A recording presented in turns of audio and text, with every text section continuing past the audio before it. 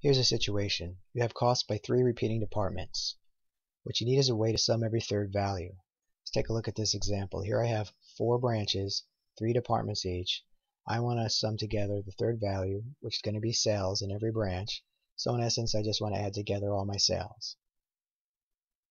If this was raw data, it didn't have these headers right here, and I knew I wanted to sum together the third value or the nth value, every nth value, I would still have to know to myself what that represented. What is that? If I came up with the total for every nth value, what does that represent? What is that? I would have to know. Since I would have to know, I'm going to make things easy on myself and just put it in the spreadsheet as a header. When you're working in Excel, of course, you can make things hard on yourself. You can make things easy on yourself. As a smart manager, you always want easy. Easy is quick, time is money. So whether this came with header, headers or not, because I know what the third uh, position always represents, I'm going to add a header. And the header I'm going to add is going to be spelled exactly the same throughout. Because now that allows me to use a very simple formula. I'm going to use the sum ifs. I could also use just regular sum if, but I'm going to use the sum ifs. Here's the sum range. Here is the criteria range. I'm going to lock that in place by hitting F4, and my criteria is simply the word sales. 30. I can check it by highlighting each one of these and holding down the control key, looking down here and seeing that the correct answer is 30, so this worked. Grab it, drag it, and I would stop right there. I'm done. Now if I got this spreadsheet from somebody else and the sales headers were there but they weren't consistent, let's say for example it said LA sales, Dallas sales, New York sales, Chicago sales, and so on, I would change it. I purposely laid this out this way so I could use a very simple formula. I still think you can tell this is LA sales, Dallas sales, New York sales, and so on. You could use a formula like this to do the same thing without the need for the header information, but I think it's overly complicated.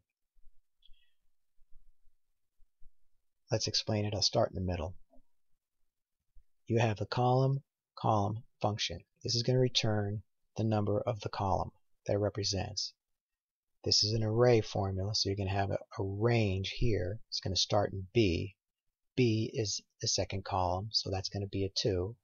Column A is the first column, that's going to be a 1. Column A is not part of this, so I have to subtract it out. So the first time it runs through this, it's going to be 2 minus 1, or 1 mod is going to return a remainder after doing division based on this divisor.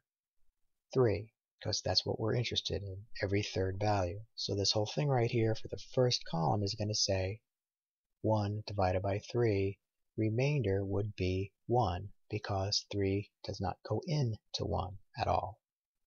The equals 0 is the, uh, the remainder that we're interested in. When we get to 3 divided by 3, there will be no remainder, it'll be 0, and that's what we want. Since I'm using a divisor of 3, there's only three possibilities. It's either going to be a remainder of 0, a remainder of 1, or a remainder of 2. And they're going to repeat throughout. Also because this is an array, this is going to return trues and falses. So what it this right here is going to return is basically false, false, true. False, false, true, false, false, true, false, false, true. We can't work with trues and falses. So if I put a double dash in front of it, it's going to switch it to zeros and ones. So I'm going to get 0, 0, 1, 0, 0, 1, 0, 0, 1, 0, 0, 1. So we're interested in ones.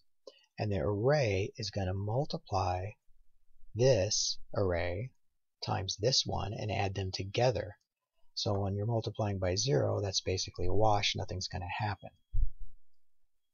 So if we could see this whole thing play out, SUMPRODUCT is going to say 1 times 3 plus 1 times 6 plus 1 times 9 plus 1 times 12. And it's going to come up with the correct answer. Grab it, drag it. I think it's too complicated for this situation. I wouldn't use it. Let me show you what I did here. This is really the only solution that I would recommend, and that is a way to solve this need.